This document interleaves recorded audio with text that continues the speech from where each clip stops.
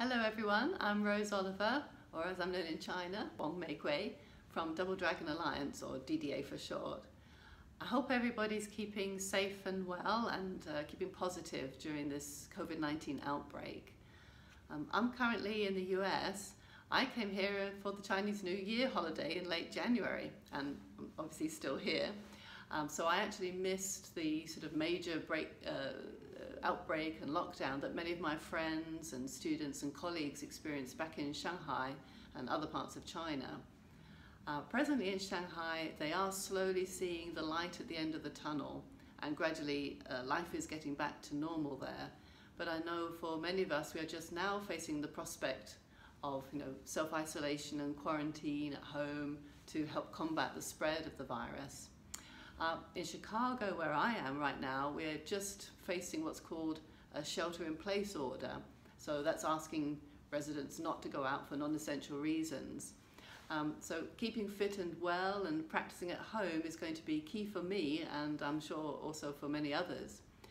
Uh, so I wanted to share some exercises that DDA teaches to our students back in Shanghai and at our overseas workshops. Um, hopefully you'll find them useful too and they'll really help you keep these isolation uh, blues at bay and help us all build a sort of healthy immune system and uh, you know a positive mindset which we really do need to help us get through this.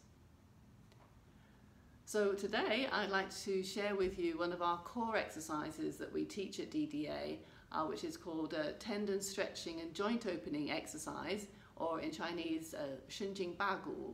Uh, this is really um, beneficial for elongating the sinews, you know, stretching the muscles, opening and relaxing the joints, and really getting a much greater range of movement through the joints and uh, you know the whole structure of the body.